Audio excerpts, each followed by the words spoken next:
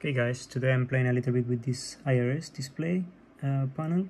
This is a 7, 7371, but at the moment I'm trying it with uh, with P3D and this Captain Sim uh, 767.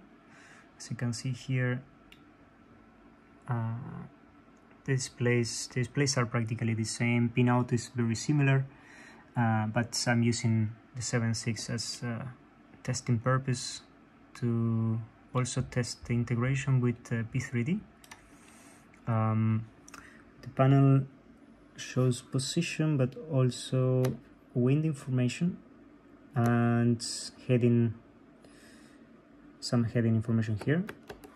And what I'm uh, actually using is only one channel of my ARINC card, one TX channel here. And uh, this is high speed 100 kilohertz and if you can see here if I switch to the second channel it will clear out because there is no no data coming in. And this panel also has an output um, that is actually what comes from the keyboard as well but at the moment is not really relevant for the test. Uh, I would probably do later. Yeah I keep having some fun with this one